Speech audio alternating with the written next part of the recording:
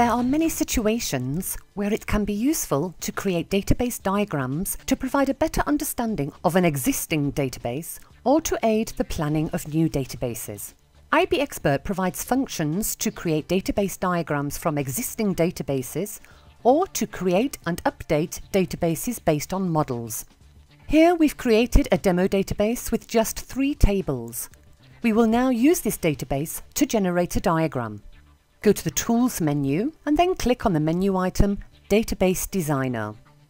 The menu item Designer offers a number of options. The option Reverse Engineer can be used to generate a diagram based on an existing database or to update an existing diagram. Generate Script allows you to convert the model or diagram into a database, and the diagrams can be saved and loaded, exported as an image file, and printed. Areas can be used to select the various database areas, allowing focus on individual areas. Finally, the notation can be altered using model options. I click on Reverse Engineer to generate a diagram of my existing database, the demo database. Here there are two options. I can either create a new diagram or update the existing one. As my existing chart is empty, this option makes no difference here. After pressing Start, IB Expert automatically creates the database model.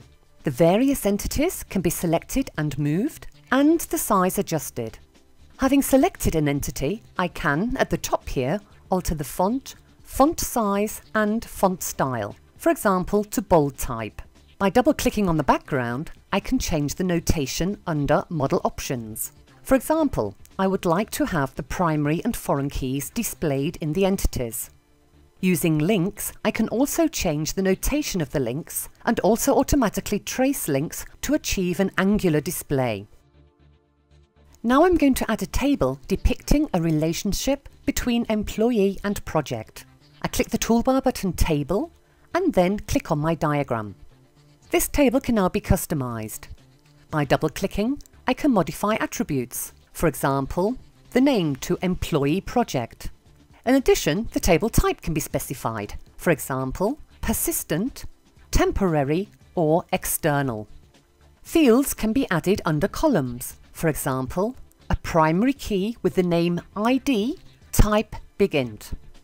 I would also like to add two relations. There are two ways to do this, either manually or simply and quickly using the toolbar button. At first, I'd like to show you using the toolbar button reference. Once you have clicked this, you can now hover the mouse over the table, then hold down the left mouse button and drag to the reference or reference field.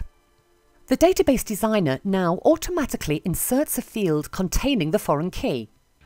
I'll do the same for project ID. That's how quick it is to add two foreign keys. Now I would like to add another field using the Append Column toolbar button. I'll call this Hours for the number of hours, type numeric, length 10, scale 2 and not null. Here I can also enlarge my table object. To position two or more entities more precisely, IB Expert offers on the right side here a toolbar which you can use to adjust the size and positions of multiple objects. First, select the reference object and then the objects to be adjusted. Clicking the button Align Rights, I now, for example, can adjust the right position. The size can also be customised, etc. Now I'm going to add another table with a reference to department. Double-click to change the name to location, type persistent. I add an ID as the primary key, type BigInt, and location name as varchar length 20. Now I'll add a reference from department to location using the manual method. Under department I add another column, I call this location ID type big int. To add the foreign key manually, I go to Keys and click Add Key. I call this FK Location 1 Type Foreign Key. This includes the field Location ID, referenced to the location table, where it references the field ID. Finally, I can specify the update and delete rule that I wish to use, in this case, Cascade. Now I'll save the diagram as an image. I go to Designer and then Export and save the file on the desktop as dbmodel.emf. Alternatively, the file can also be saved as a bitmap. This file can now be opened using a standard graphics program such as Paint and, for example, be sent as an email. The diagram can also be printed. Now I would like to update my demo database based on this diagram. So I go to Designer and Generate Script. There are a number of options. Either a completely new database can be created, or an existing database can be updated, or a difference script can be created focusing on specific fields and objects.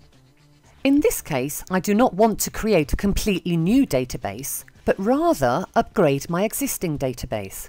Here you can also specify whether as a file, to the clipboard or directly in the IB Expert Script Executive. The script is then created upon clicking Run. This includes the two tables that I have created along with my references and primary key. By clicking the checkbox Use Current Connection, this script can now be run directly on my demo database and the result is my modified database which has been created using the Database Designer. You can find out more about the IB Expert Database Designer in the IB Expert online documentation.